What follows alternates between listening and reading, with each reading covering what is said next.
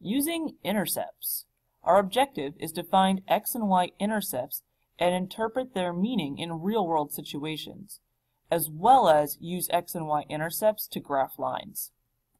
Who uses this? Divers can use intercepts to determine the time a safe ascent will take. A y-intercept is a point where the graph intersects the y-axis. An x-intercept is a point where the graph intersects the x-axis. So let's start by finding intercepts. So, we look at our graph, our y-intercept is going to be where it crosses the y-axis. So our y-intercept would be negative 3 as a coordinate, 0, negative 3. And our x-intercept is where our graph crosses the x-axis. So that happens at negative 4, or as a coordinate, negative 4, 0. Well, what do we do when it's an equation? So to find the x-intercept, we're going to replace y with 0 because we want an x-intercept, we want a number for x. So since we want a number for x, y has to be 0. So we're going to substitute in 0 for y. And then solve. So 2 times 0 is 0. All we're left with now is 3x equals 12. So divide both sides by 3, and we end up with x equaling 4. So the x-intercept is 4. Alright, next piece, you need an x and y-intercept. We have the x, we need the y. To find the y-intercept, we're going to replace x with 0. We want a number for y, so that's why x has to be the one that's 0. So 3 times 0 is 0, leaving us with only negative 2y equals 12. To solve for y, we're going to divide both sides by negative 2. So therefore, y is going to equal negative 6. So our y-intercept is negative 6, and our x-intercept is 4. Take a moment and pause the video and try these next three.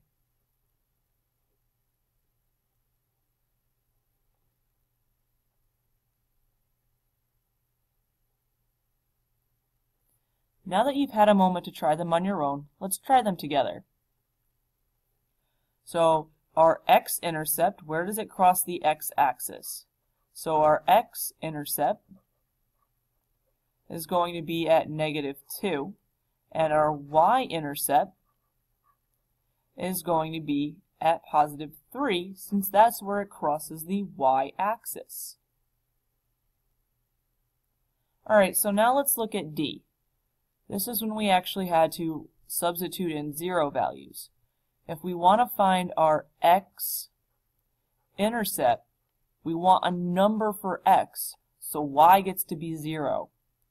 So 5 times y, 5 times 0, is gone. There's nothing there. So you're just left with negative 3x equals 30. So x has to equal negative 10. Alright, so let's look at the y-intercept. You want a number for y. So x has to be 0. So when x is 0, that whole piece is just gone. Now you're just left with 5y equals 30. So if you divide both sides by 5, you end up with y equals 6. All right, one more to go here. So, we want to find our x-intercept. Once again, we want a number. We want a value for x. So y is going to have no value. It's going to be 0, which leaves us with 4x equals 16. Divide both sides by 4, and x equals 4. Now let's look at our y-intercept. we want a number for y. So we don't want anything for x. So x gets to be 0. It's all gone. Now we're just left with 2y equals 16. Divide by 2 on both sides, and we have y equals 8. So our y-intercept is 8, and our x-intercept is 4. Let's look at a travel application. The Sandia Peak Tramway in Albuquerque, New Mexico, travels a distance of about 4,500 meters to the top of Sandia Peak. Its speed is 300 meters per minute. The function f of x equals 4,500 minus 300x gives the tram's distance in meters from the top of the peak after x minutes. Graph this function and find the intercepts. What does each of these intercepts represent? So we have our table here, and we're going to substitute in, or plot each coordinate into our graph.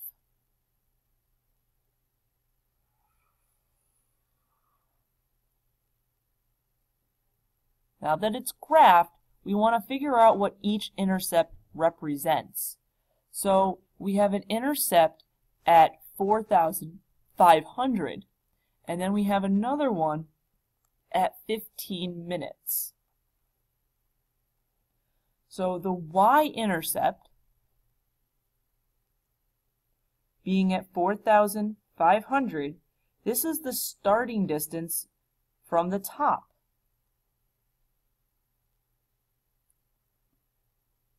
The x-intercept, this 15 over here, this is the time when the train reaches the peak. So this represents how far away they are when they're starting, and this represents how long it's going to take to get there.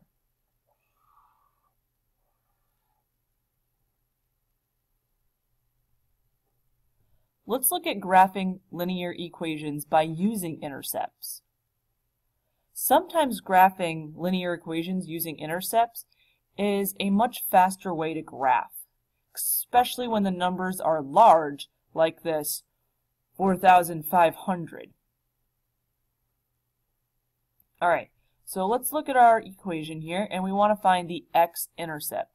Since we want to find the x-intercept, we're going to make y equal to 0. We want a number for x, so y has to be 0.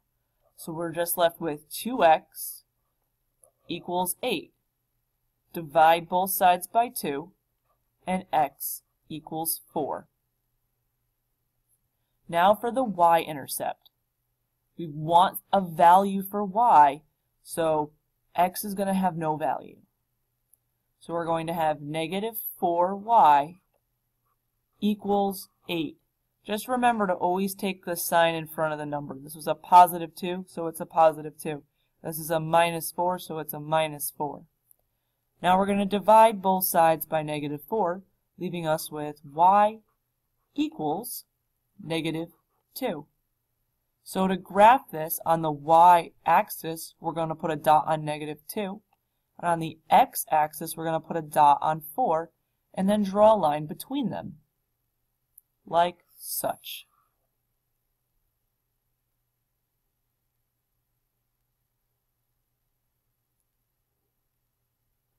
Let's try another one. Write an equation in standard form. So before we try to use our x and y intercepts, we want to make sure it's in standard form. This problem looks a lot uglier than it really is. Don't let these fractions scare you. So we're going to multiply both sides by 6. That way we don't have to deal with any fractions. So if we multiply the left by 6, well 2 thirds of 6 is 4. So we have 4y equals 6 times 4 is 24 and then half of 6 is 3. So 24 minus 3x. We now no longer have these ugly, crazy fractions that you have to deal with. So now let's put it in standard form. So we're going to move this 3x to the other side. So we have ax plus by equals c, if you recall back. Well, now we can find our x and y intercepts. So our, we want to find the x-intercept. That means y is going to be 0 because we want a value for x. So we're going to use the x, since it's the x-intercept, equals 24. Well, divide both sides by 3, and we end up with x equals 8. And now the y-intercept. Because we're looking for the y-intercept, x is going to be 0. It's not going to exist anymore. So we're just left with 4y equals 24. To solve for y, we're going to divide both sides by 4, leaving us with y equals 6. To graph, we're going to put a dot on 8 on the x-axis and a dot on 6 on the y-axis. And then connect them with a line, like so. And that ends our lesson on using intercepts.